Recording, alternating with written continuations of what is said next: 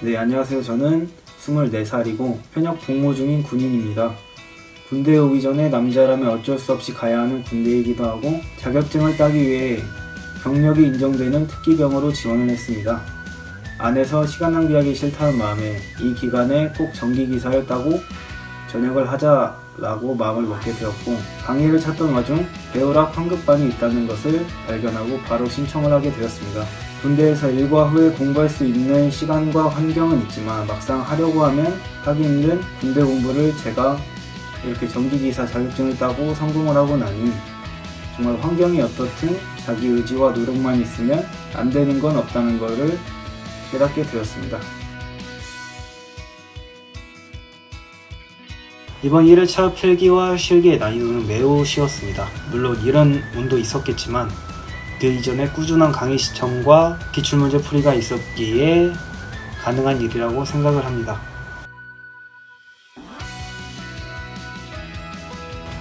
우선 필기나 한 과목의 진도가 다 나가면 그냥 그 다음 과목만 진도를 나가는 것이 아니라 진도가 끝난 과목의 기출을 풀면서 계속 누적시켰습니다.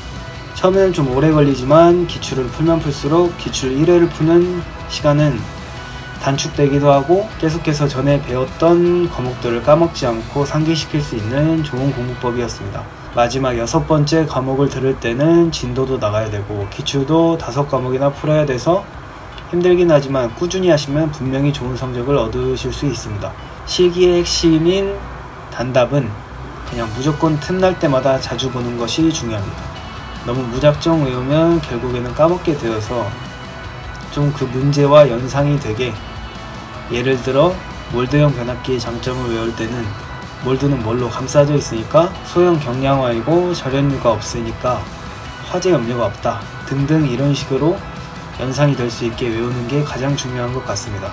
나머지 과목인 시퀀스와 수변전 설비는 난이도 있는 문제들을 가지고 계속 생각해 보는 것이 중요합니다. 나중에 어려운 문제가 나오더라도 그런 생각하는 힘을 길러 놓으면 부분 점수를 조금이나마 얻을 수 있는 확률이 높아질 것입니다. 윤성만 기술사님과 최한호 교수님을 뽑겠습니다. 우선 윤성만 기술사님은 정말 수험자들이 필요한 부분만 딱딱 집어서 버릴 건 버려라. 이 부분은 고득점 맞고 싶은 사람만 해라. 이렇게 강의해 주셔서 많은 내용들을 쉽고 간편하게 핵심만 공부할 수 있었습니다.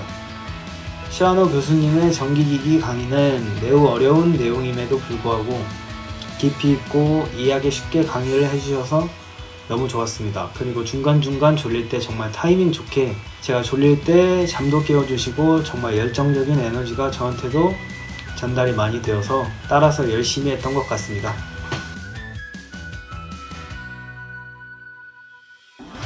우선 저는 배우랑 모든 교수님들께 영상 편지를 보냅니다.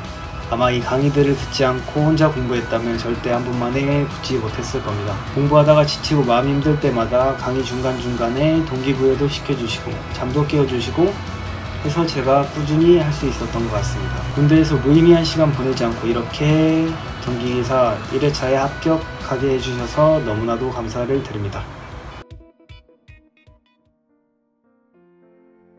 수험 기간 중에 슬럼프는 없는 게 이상할 정도로 누구에게나 오는 과정인 것 같습니다.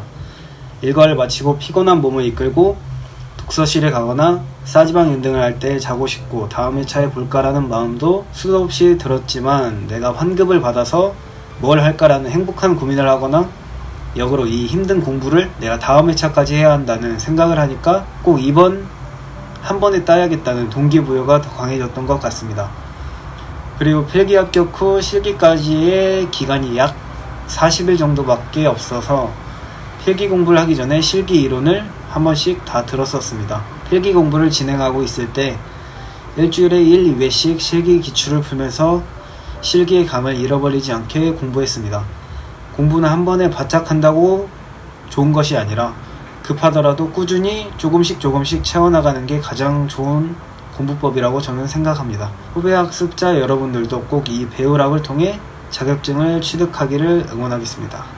화이팅!